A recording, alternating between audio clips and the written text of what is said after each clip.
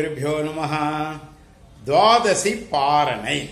அதை பற்றி ரெண்டு நிமிஷம் இந்த துவாதசி பாரணை என்பது இன்னொன்னோட தொடர்ச்சி தான் நண்பர்களே.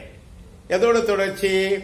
ஏகாதசி வருத்தத்தோட தொடர்ச்சி தான். அதாவது அதாகப்பட்டது ஏகாதசியோட கண்டினியூட்டி தான் துவாதசி. அதே மாதிரி ஏகாதசி விரதத்தோட கண்டினியூட்டி தான் ஏ துவாதசி பாரணை.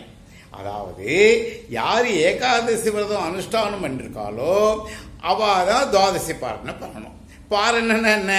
ஓரளவுக்கு நமக்கு புரியக்கூடிய லாவையில் சொன்னால் போஜனம் சொல்லலாம். சாப்பிட்றது. அதாவது ஏகாதசி விரதம் இருக்கிறவா மறுநாள் துவாதசி அன்னைக்கு போஜனம் கூட யதாவிதியாக சாப்பிட சொல்லியிருக்கு.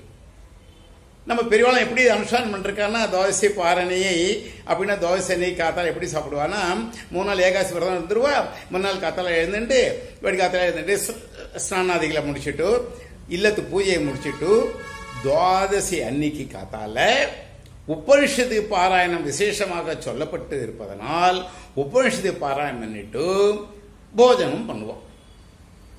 ஆமாம் அதாகப்பட்டது. உபனிஷத்து பாராயணம் ரொம்ப விசேஷமாக எடுத்திருக்கு. துவாதசி அன்னைக்கு. உபனிஷத்து பாராயணம் அம்மா எனக்கு உபனிஷத்து பாடம் ஆகலையே என்ன செய்யலாம்னா பிராமணால வர விஷயம் உபனிஷத்து பாராயணம் சொல்லலாம் வேதிகால வர விஷயம் அல்லது நீங்களே விஷ்ணு சஸ்திரநாமத்தை அந்த ஸ்தானத்தில் சொல்லிட்டு சாப்பிடலாம். விரதம் இருக்கிறோம். அந்த எப்போ சாப்பிடணும் அதுக்கு டைம் சொல்லிருக்கா. கிட்டத்தட்ட ஆறே முக்கால்லேருந்து ஏழே கால் ஏழைக்குள்ளே சாப்பிட்டு முடிச்சிடணும். இதுதான் நம்மளுடைய பெரியவாள அனுஷ்டானம் பண்ணக்கூடிய வழி நண்பர்களே. அந்த போஜனத்திலையும் இந்த காய்கறிகள்லாம் சேர்த்துக்கூடாது சேர்த்துக்கணும்னு இருக்கு பெரிய பட்டியல் இருக்கு. அதை இன்னொரு சந்தர்ப்பத்தில் பார்க்கலாம். சுருக்கமாக சொல்ல போனா புளி சேர்த்துக்கூடாது. அன்னைக்கு சாம்பார் குழம்பெல்லாம் ரசம்லாம் வைக்காம என்ன பண்ணுவா? மோர் குழம்பு வைப்பா. அப்புறம் எலுமிச்சம்பர் ரசம். புளி போடாம. அதே மாதிரி இந்த மூணு சாப்பிட்ற காய்கறிகளை அவசியம் சேர்த்துப்பா. எதை அகத்தைக்கீரை சுண்டைக்காய் நெல்லிக்காய். இந்த காலத்தில் ஏகாதசி விரதம் வந்து இருக்கிறது அவ்வளோ சிரமமாக இருக்குது ஏன்னா நிறையா பேருக்கு உடம்புல உபாதைகள்லாம் வந்துருக்கு சுகரு பிபி அதெல்லாம் வந்துடுறது. அதனால் ஏகாதசி விரதம் இருக்க முடியதில்லை ஏகாதசி விரதம் விரதங்களே ரொம்ப மகுடமானது விசேஷமான ஏகாதசி தான். ஏகாதசி உபவாசம் இருக்கிறது ரொம்ப விசேஷம். ஆனால் உடல் நலம் சரீர தர்மம் இடம் கொடுக்கல என்ன பண்ணுறது சிரமம் தானே.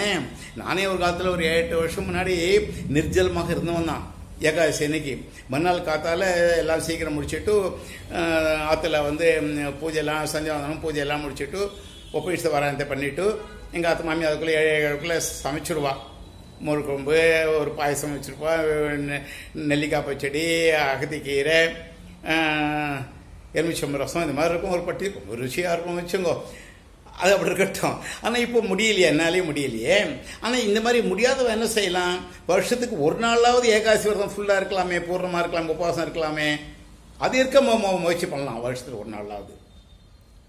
மறுநாள் வந்து துவாதசி பாரணையை எத்தோ விதியாக நம்ம வந்து அந்த நடத்தி முடிச்சுக்கலாம் இல்லையா? யோசனை பண்ணுவோம். ஒரு விஷயம் உண்மை. நம்ம எல்லாரும் முயற்சி பண்ணுவோம். துவாதசி அன்னைக்கு வருஷத்தில் ஒரு நாள் ஆகாது நமக்கு உபனிஷத்து பாராயணம் மந்திர பாடம் ஆகாவிட்டாலும் வைதிகால வச்சு துவாதசி அன்னைக்கு காத்தால உபனிஷத்து பாராயண இல்லத்தில் கிரகத்தில் வைதிகால வச்சு பண்ண வச்சு அவளுக்கு போஜனம் செய்வது விசேஷம். டைம் கொஞ்சம் முத்தி முந்தினா பரவாயில்ல வேதிகா வரது நம்ம பாராயணம் பண்ணி முடிச்சு போகிறதுக்கு துவாதசி அன்னைக்கு பிராமண போஜனம் செய்வது ரொம்ப விசேஷம். அதுவும் நம்ம கிரகத்தில் உபநிஷ பாராயணத்துக்கு ஏற்பாடு பண்ண வச்சுங்கோ ரொம்ப ரொம்ப விசேஷம் புண்ணியப்பிரதமானது. எல்லாரும் சௌக்கியமாக இருக்கணும் க்ஷேமமாக இருக்கணும் அப்படின்ட்டு அந்த மகாபிரிவால் நான் பிரார்த்தனை பண்ணிக்கிறேன். நாரா